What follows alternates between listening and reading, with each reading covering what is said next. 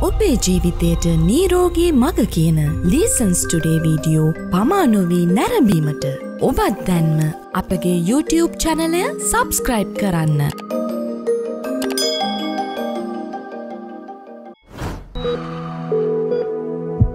Lessons today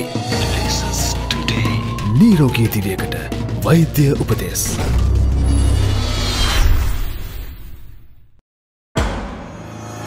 පෝෂණ සායනයක කාලීන වැදගත්කම පිළිබඳව ඔබ දැනුවත්ද මේ පිළිබඳව අදාපට කරුණු පාදා දෙන්නේ පෝෂණවේදී වෛද්‍ය සුජීව රුද්‍රිකූ අදම ඔබ දැනුවත් කිරීමට සූදානම් වන්නේ වර්තමාන සමාජයට පෝෂණ සායනයක ඇති අවශ්‍යතාවය පිළිබඳවයි. මිනිස් අපගේ ශාරීරික හා මානසික සෞඛ්‍යය රැක ගැනීමට නිවැරදි ආහාර පරිභෝජන රටාවක් හා නිවැරදි ශාරීරික ක්‍රියාකාරකම් රටාවක් පවත්තා ගැනීම ඉතාම වැදගත්. අද සමාජය තුළ අධිබර හා තරබාරුකම එනම් ඕවේට් ඔබේසිටි යන තත්ත්වල පෙළෙන අය බහුලුවම දැකිය හැකි.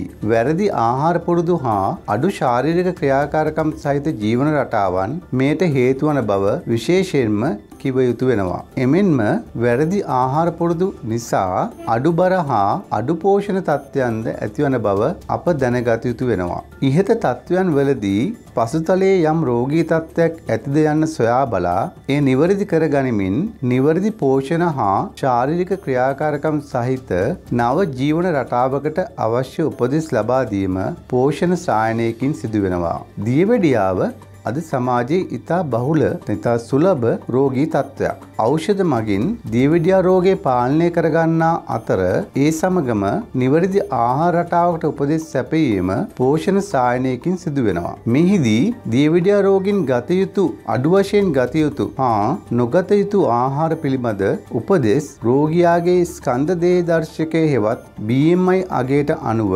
ලබාගත හැකියි. ඒ වගේම දියවැඩියා රෝගයාගේ උසට සරිලන බර එවත් ස්කන්ධ දේහ දර්ශකය අනුව ශාරීරික ව්‍යායාම් පිළිබඳවද උපදෙස් වට්ටෝරුවක් එනම් එක්සසයිස් ප්‍රස්ක්‍රිප්ෂන් එකක් ලබාදීමද මෙම සායනයකින් සිදුවෙනවා.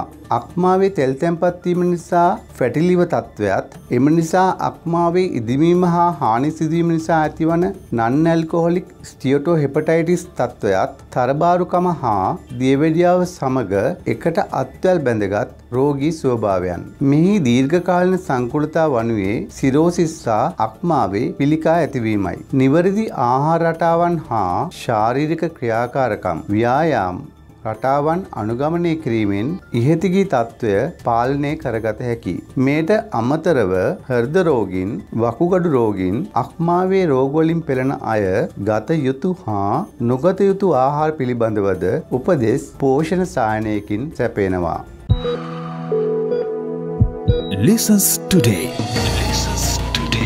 නීරෝගී දිවියකට වෛද්‍ය උපදෙස්.